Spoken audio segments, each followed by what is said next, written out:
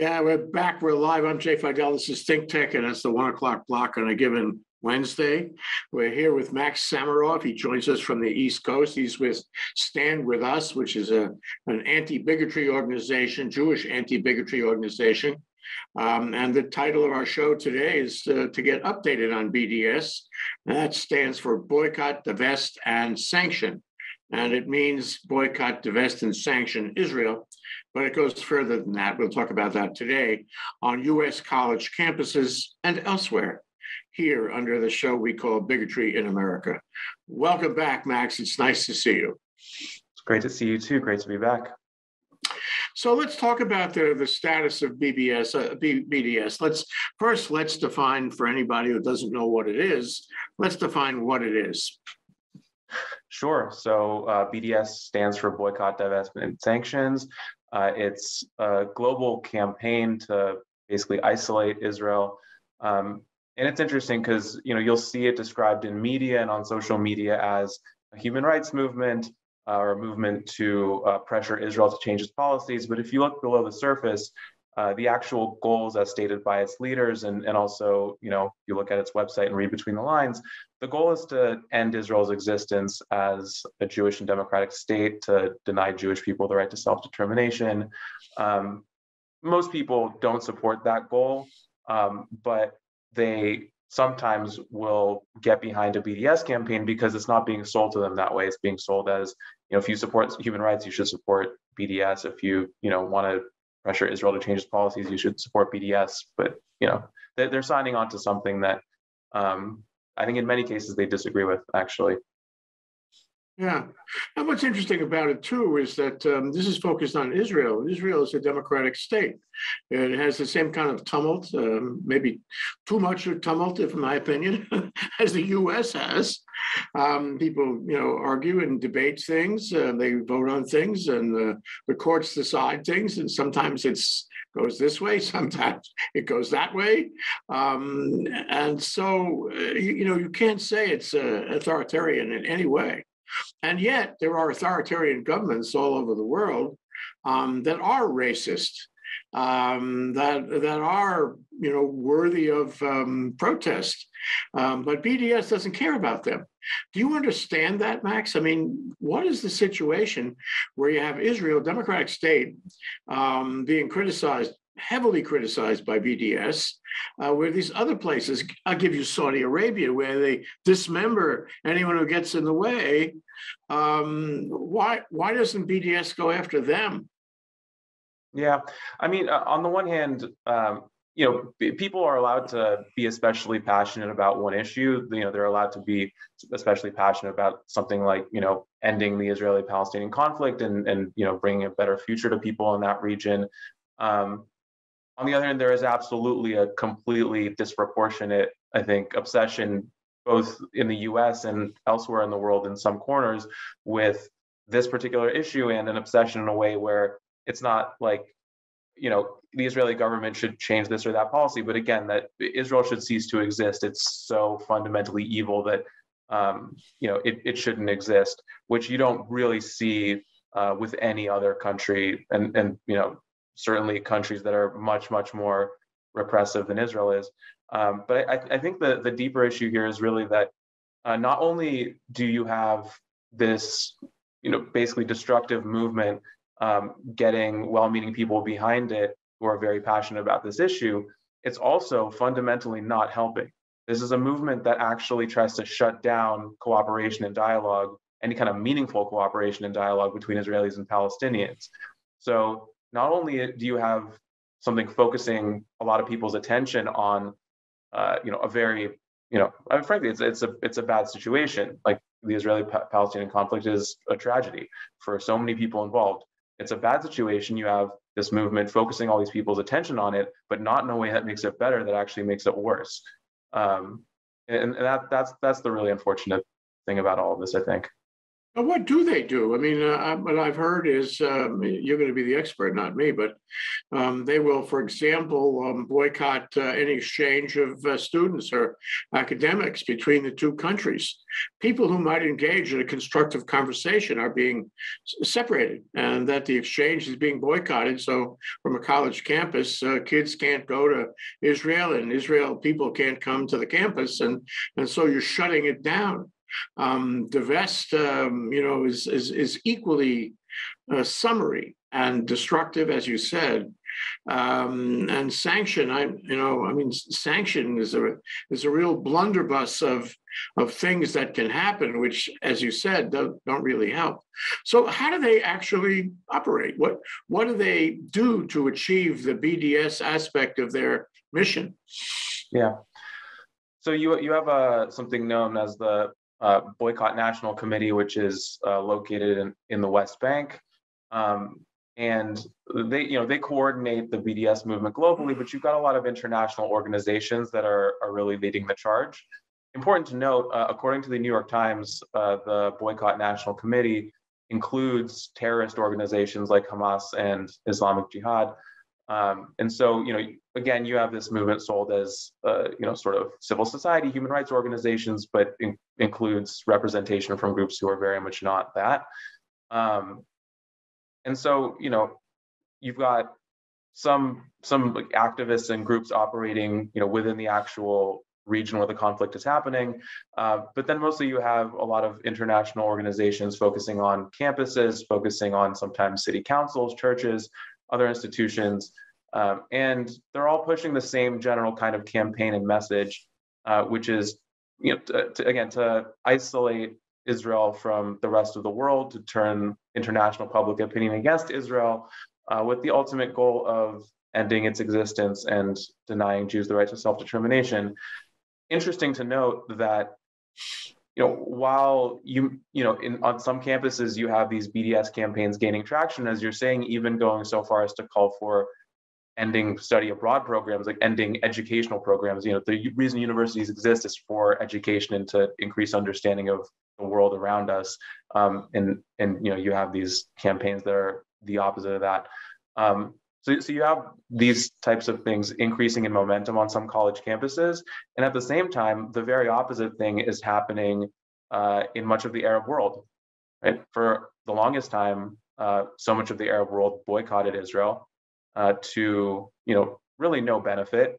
Um, it was only harmful, uh, and now you have, you know, increasingly, you know, more countries signing peace agreements with Israel, or you know, if they don't have open peace agreements, they have uh, some kind of behind the scenes relations or economic ties with with Israel. Um, and it, it's a fundamentally good thing that that is trending in the absolute right direction. And even with public opinion, um, you know, there's still very serious issues with anti-Semitism in the Middle East, uh, but it's going in the right direction there. Uh, mm. But it seems to be going in the wrong direction, at least in some circles here in the United States and, and in Europe. Um, it's a bizarre time.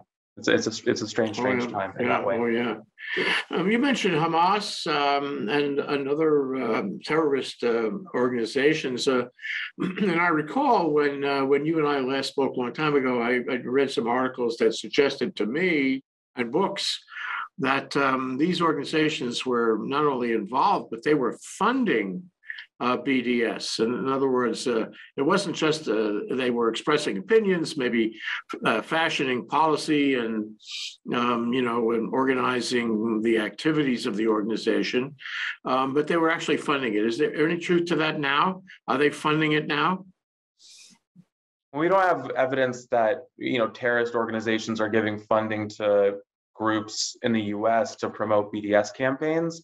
Uh, we do have evidence, though, that you know there are organizations that have you know either ideologically support these terrorist groups um, or you know have you know so, some ties from the past uh, when you know when groups like Hamas were a little bit more brazen about you know trying to gain political influence in the U.S. You know, let's say back in the 90s.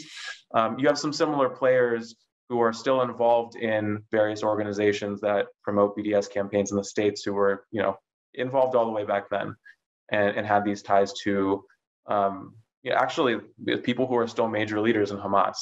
Um, so, you know, we yeah, we can't say that for for certain at all that right now there is Hamas money flowing to you know BDS campaigns on college campuses or anything like that. Uh, but the ideological ties and sometimes the personal ties are certainly there. Let me ask you this, Max: if if um, if BDS were you know completely honest and legitimate and didn't have this kind of double mission that you describe, it had a single mission, um, you know, of establishing better relations uh, between the Palestinians and the Israelis. How would that change what it is doing? I mean, if you were, it's a silly question, but if you were the president of BDS, uh, and you wanted to be sincere and legitimate about achieving a legitimate mission to make peace in, in Israel, um, what, how would you change what they do, their activities? Well, I mean, you, would basically be a completely different organization if if you want it, and and and uh, campaign and movement if you wanted to do that. But uh, I mean, I think it starts with uh, you know any and every effort that can be made to build trust between Israelis and Palestinians on the ground.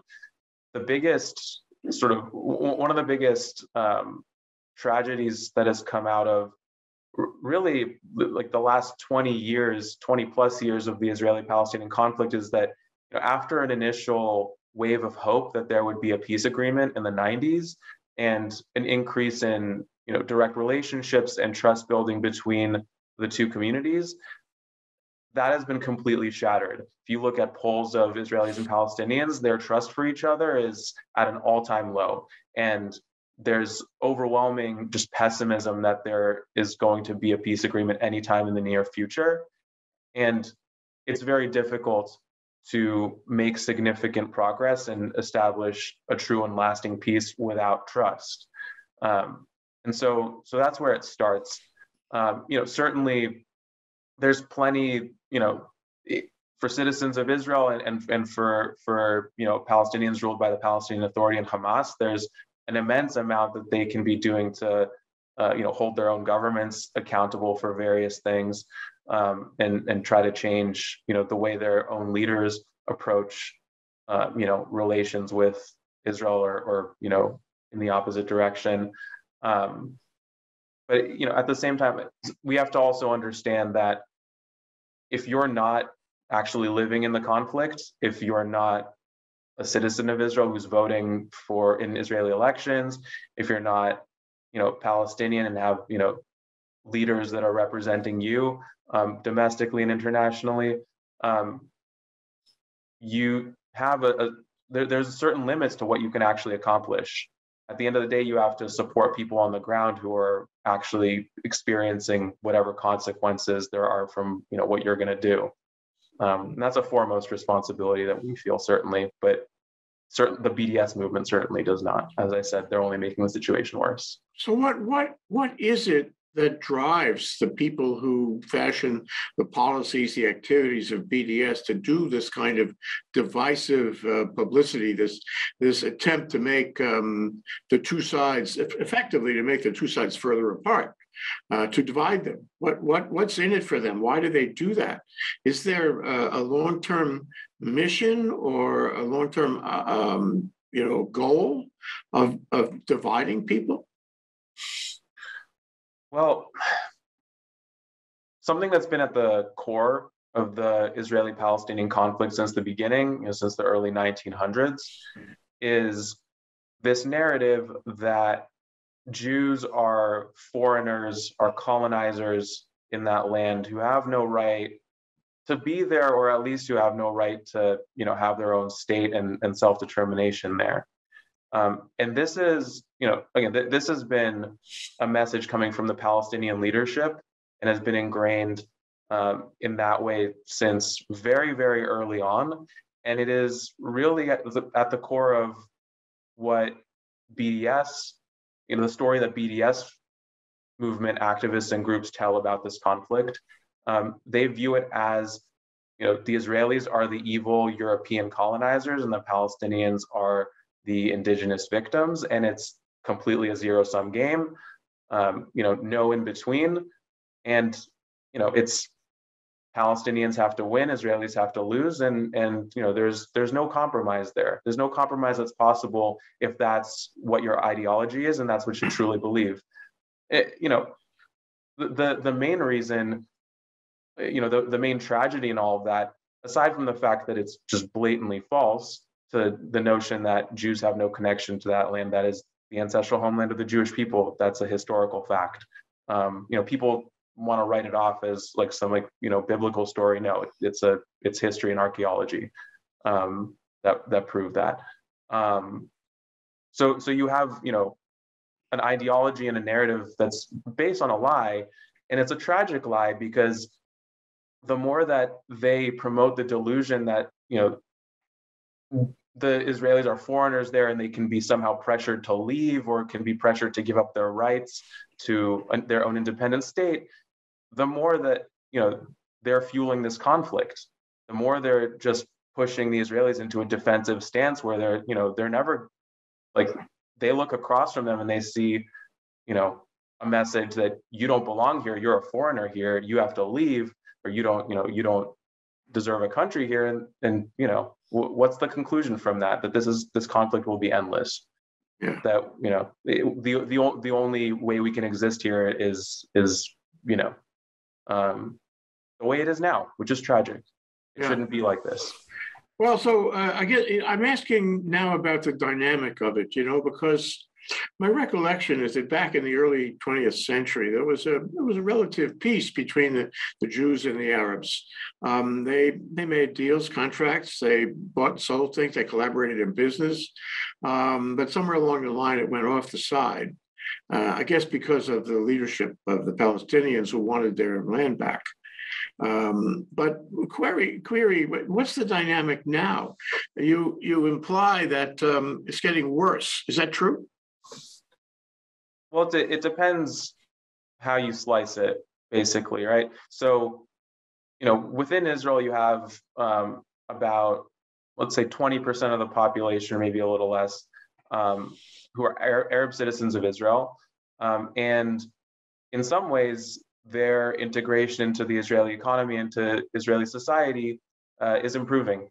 The current Israeli government has includes a party that represents primarily religious Arab Muslim citizens of the state. And the government, you know, in large part because that party is in the government, um, they just allocated $16 billion to improving the, you know, prosperity and security of um, Arab communities in the state. Um, so, you know, you, you look at polls of, um, you know, Arab citizens of Israel and over time, and and there's there's positive trends in terms of um, their feeling of, of belonging. There's certainly plenty of challenges still despite that, but there's some positive trends there. Increased education, attainment, things like that.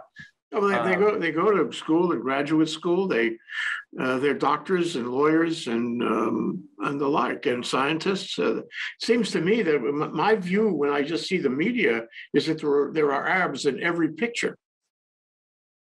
Yeah, and so and so there, there's there's ways you can slice it where there are very positive trends also in terms of relationships with a number of Arab countries like the United Arab Emirates and Bahrain and Morocco and, and others. Um, these relationships are increasing and, and they're not uh, they're not just at a government level, they're also at a more grassroots people to people level. And that that's that's huge. I mean that, you know, it's it's really never been like that um, until very recently. Hmm. Um, but between Israelis and Palestinians um, in the West Bank and Gaza and, and you know in various refugee camps around the region, um, trust, ties, cooperation have decreased overall, uh, and and and that's that's that's where it's you know. It's tragic and, and it doesn't go to a good place. I will say that uh, there are efforts underway right now by the current Israeli government to uh, at least on an economic level, uh, try to you know try to increase some of that cooperation and, and try to um, help the Palestinian Authority improve standards of living um, in the areas um, where they govern. Um, so you know it, it's not that there's no efforts happening. There's also plenty of grassroots organizations that uh, try to bring Israelis and Palestinians together. Um, so it's not that no one's trying, but um, but certainly it's it's not in a great place. Yeah. So I mean, I've seen articles. Um, one recently struck me. It said the mask is coming off BDS, and when you take the mask off BDS, what you get is anti-Semitism. And indeed, if you look at the BDS protest pictures of the protests, you'll see Jewish stars at the wrong end of their protest signs. I mean, they're protesting Jews, uh, not Israel. They're saying Zionism is Judaism. It's synonymous. Um, is, is that correct? Is that what's happening? Has it always been like that, or is it becoming more like that? Uh, there, there's, there's always been a strong element in, you know, when when people say, well, I, you know, I'm anti-Zionist, not anti-Semitic. Well, first, let's define Zionism. Zionism is a liberation movement. It's about the right of Jewish people to self-determination in their homeland. The right to self-determination is a universal right that all people have under international law. So if you're saying that you know you oppose this right for Jewish people, there's almost virtually no situation in which that's not discriminatory on some level. Um, now, you know, people start to come up with different definitions and interpretation of what Zionism means. Some people just think it means that, oh, you support the government of Israel and its policies. That's not what it means. But if people think that's what it is, then they're saying, oh, you know, I'm not anti-Semitic. I just, you know, oppose um, Israeli government policies. Um, in which case, you know, they're right in a sense, but they're also wrong about what Zionism is. So it gets confusing.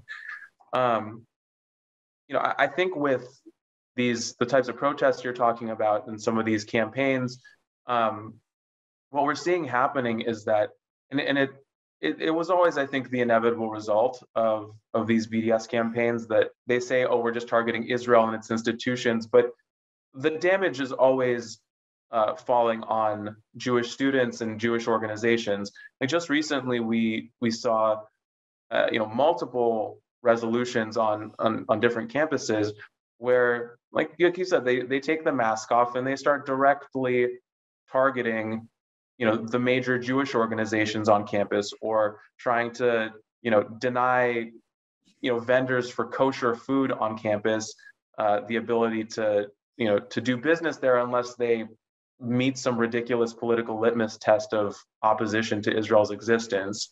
Um, and, and that's i mean that's just beyond the pale because the vast majority of Jewish people support Israel's existence and, in fact, think that denying Israel's right to exist is a form of anti Semitism.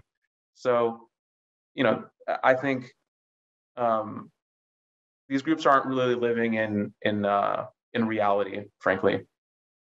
Know, you know I always it's, wondered. It's a, it's a, it's a it's a fantasy world, but but unfortunately, it's a it's a fantasy world that has some really negative real life consequences. I mean, we saw hate crimes on the streets of American cities driven by some of these hateful narratives only a few months back in May and June. So, um, well, including murders in Pennsylvania. Yeah, well, so so that's interesting. So so you you have you have now anti-Semitic violence coming from different sides of the political spectrum. And so you know the the the murders in Pittsburgh, that was a white supremacist who you know, had a sort of, you know, this ideology was like a far right version of anti-Semitism, which is extremely dangerous.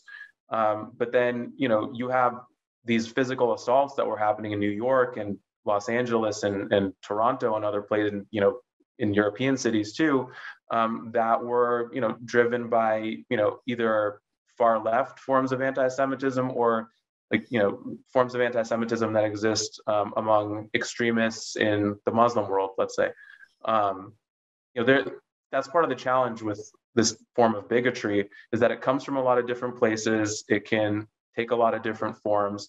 Um, many times driven by ignorance, not people having malicious intentions, but sometimes it rises to the point where you know people are motivated to engage in violence. Yeah. You know, I always wondered uh, who would who would push back on that because it's it's irrational, it's hateful.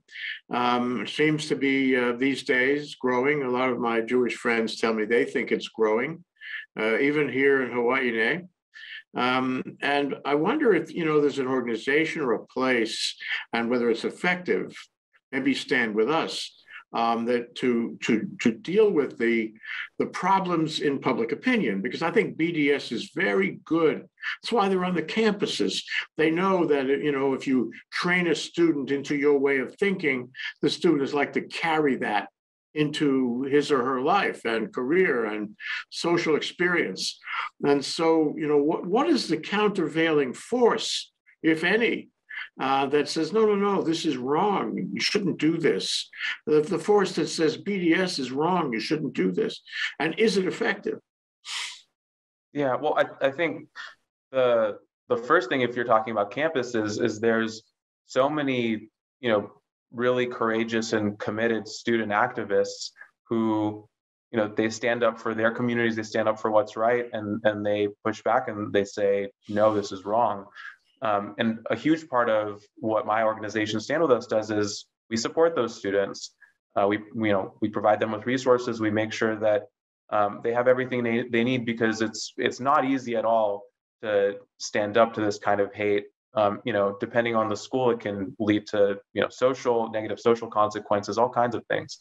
Um, but, you know, we're here to support students like that, um, you know, and activists in, in, you know, all kinds of communities and institutions.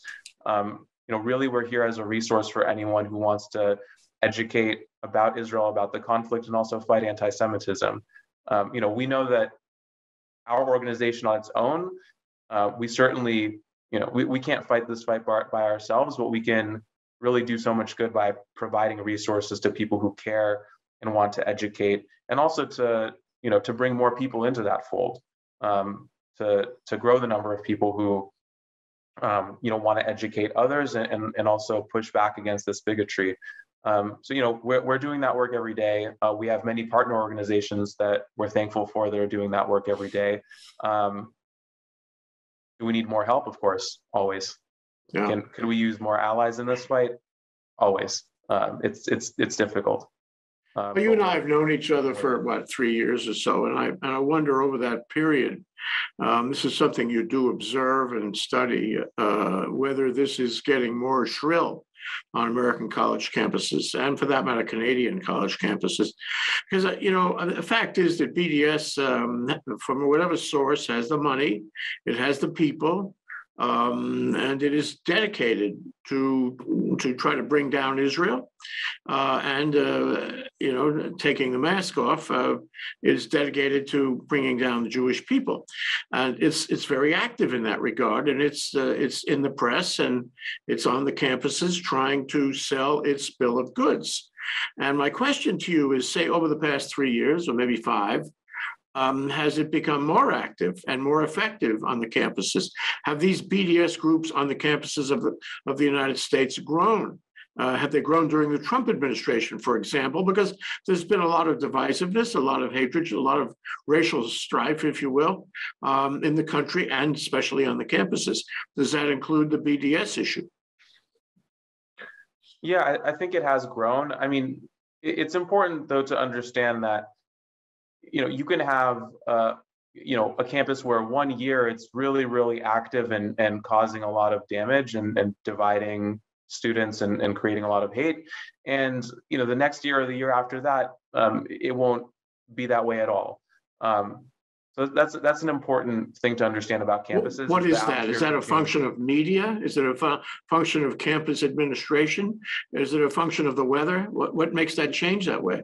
It, it can it can be you know administrations taking the issue more seriously. It can simply be the fact that you know the students who are leading the charge on on some of this stuff just they graduate they leave. And you know maybe other students come in who have a different perspective and, and different motivations. Um, so, so so you know so there's there's a lot of nuances to it but yeah i would say there's an increase really there's an increase in um, sometimes how blatant and brazen the hate is. You know, so sometimes, you know, in the past, um, some of these campaigns would be more cautious in the types of claims they would make. But now you have these crazy conspiracy theories being promoted on campuses that, you know, Israel is somehow responsible for uh, police brutality in the United States, States, which is like, I mean, that echoes some of the oldest anti-Semitic smears about, you know, Jews being to blame for all these awful things that different societies were experiencing from like the black plague to you know, eh, hmm. wars and any number of different things. It's the same pattern, just applied to, you know, one of the biggest, if not the biggest social injustice that exists in the United States today. Um, so it's a, it's unfortunately a familiar anti-Semitic tactic that we now see translated uh, to campuses to this issue that so many people, you know, really rightfully feel so passionately about. And you know, the, these situations like we talked about before, where it's these Jewish organizations targeted and kosher vendors and all these things.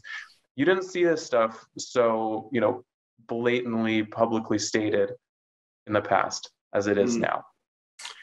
You know, one thing I've noticed, and this is my last question for you, Max.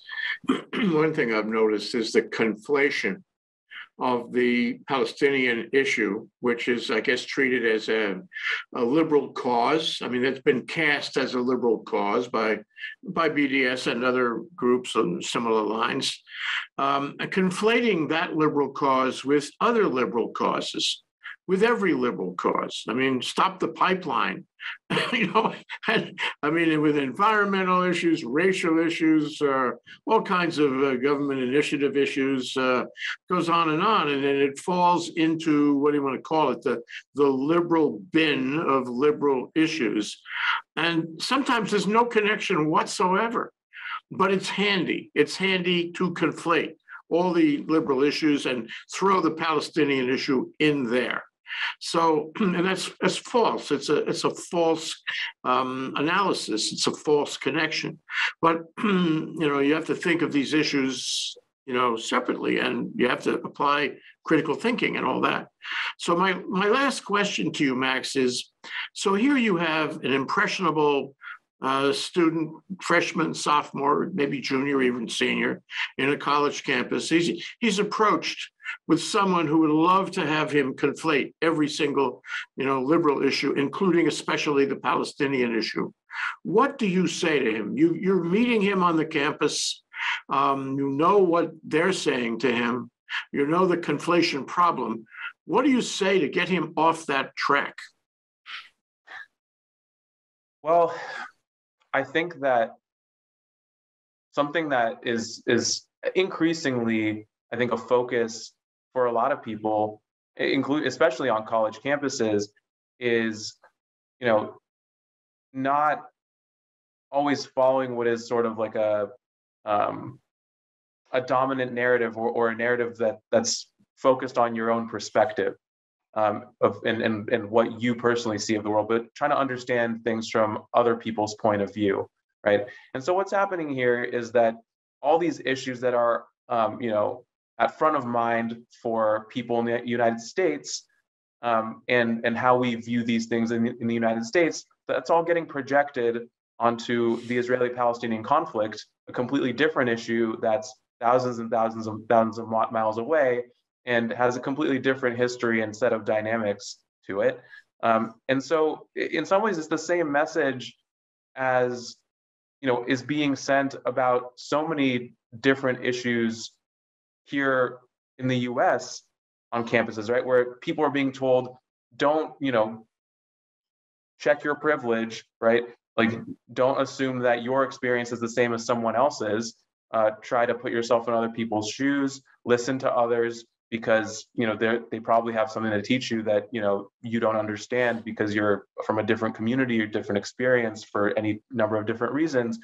That should apply just as well to a conflict thousands of miles away that you know as much as it's easy to think about it as if it's you know in the same box as you know native american issues issues that so many different communities face um, why why would you why would you equate those things you know with a conflict thousands of miles away if you don't equate you know everyone's eh, all these different communities experiences here if you wouldn't equate your own experiences with someone else's here? Why is it different? I would try to get people to think about it that way.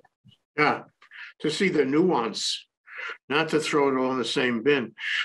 So when Stand with Us goes out and talks to these impressionable students. Is that what it says? Um, how do you handle that issue? How do you handle getting the word out uh, to clarify their way of looking at things, to um, clarify their critical thinking? like I said, we we work with students on you know at this point hundreds of college campuses um, who are themselves passionate about educating their peers about these issues, um, and so we're we're really uh, we're really about empowering people, uh, empowering students and others who care about these issues to first you know be as educated as they can themselves, and then um, have these you know interesting sometimes difficult conversations with their peers on the ground. Um, and so, you know, we're, we're always we're always trying to provide factual information also help people um, really lead with empathy um, and and you know not assume things about whoever they're talking to and and always you know try to drive towards um, some kind of respectful um, and ultimately positive vision of the future um, where it's not you know this zero sum game where one side has to win and one side has to lose um, but that we're we're trying to ultimately do what we can to help bring about a better future for both peoples. Yeah, it always helps if you take the hate out. That's been the problem of the country. You know, uh, Max, uh, these these people that you're talking about, these people on the college campuses, if you ever want to set up a show with Think Tech Hawaii, we can zoom in in every city, every campus in the country. We'd love to talk to some of them um, with you um, so uh, I just want to plant that seed with you that we'd love to do a show with some of the people you're talking about. In any event, I greatly appreciate you coming on and answering my questions and talking about this subject. In many ways, people don't want to talk about it, but I, I really appreciate your coming on and talking about it. Thank you, Max. Thanks for having me. Aloha.